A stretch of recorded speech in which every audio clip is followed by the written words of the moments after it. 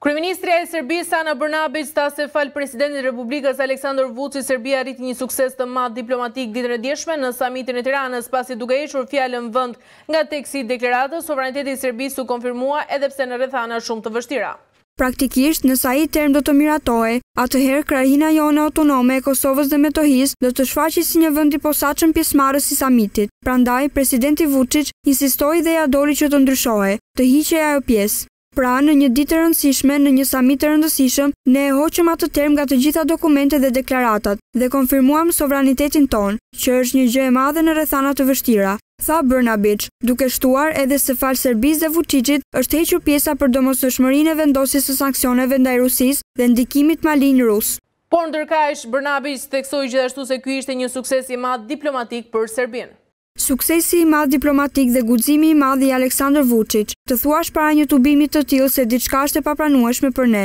dhe se nuk do të pajtohemi, nuk është aspak e lehtë, madje është një nga gjërat më të vështira që ai, Vuçiç, arriti të bëjë kohët e fundit, tha Bërnabiç. Në përgjigje të deklaratës se anëtarët e Parlamentit Europian po i bëjnë thirrje Serbisë që urgjentisht pra të përafrohet me politikën e jashtme të Bashkimit Europian dhe të vendosë edhe sanksione ndaj Rusisë, Bërnabiç, Vuri në dukje se presioni ndaj vendit është jashtëzakonisht i fortë, në rritje dhe do të jetë edhe më i fortë. Disa eurodeputetë punojnë në përputhje me interesat e tyre, siç ata e bënë në vitin dy mijë e njëzet e dy dhe dy mijë e njëzet e tre, dhe kanë shumë më keq për të thënë për Serbinë, Kosovën dhe Metohinë. Kështu që kjo është më e pakta që mund të dëgjojmë dhe nuk është gjë e re. Por do të mbahet mend se si të gjithë luftuan dhe luftojnë për Serbinë dhe interesat e vendit, si dhe atë që Vuçiç arriti të bëjë dje në Tiranë, shtoi kryeministrja serbe.